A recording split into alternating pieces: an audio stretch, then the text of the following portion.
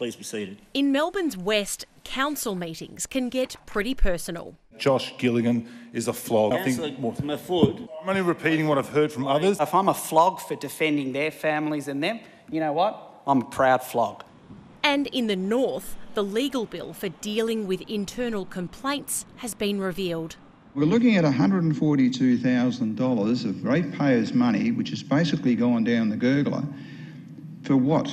That's for handling 22 complaints, mostly from one councillor, since 2020. Going through that complaints process it can be a very traumatic and upsetting period. That process could be about to get an overhaul. A report commissioned by the state government has found the process for dealing with complaints within council is difficult to navigate and overly legalistic. The report into council culture heard from nearly 150 people, including mayors and councillors, and found bad behaviour is a problem. It is quite a sad thing that so much time gets spent on one or two individuals and the way they are behaving. The report found nearly a quarter of submissions raised concerns over the management of poor behaviour. 37% raised issues with how councillors use social media, and more than half wanted better training for councillors. There are also concerns about diversity.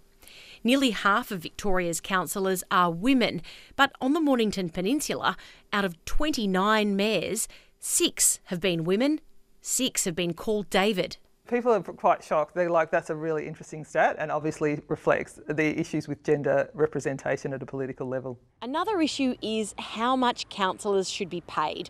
At the moment, the base allowance for a councillor is between about $24,000 and $54,000 a year.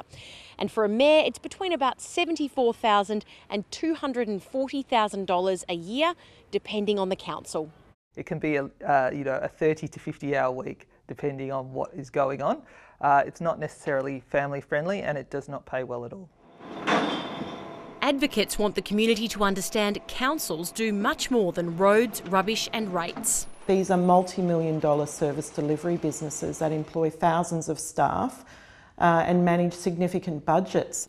The state government says it's up to local governments to act on the culture report. Margaret Paul, ABC News, Melbourne.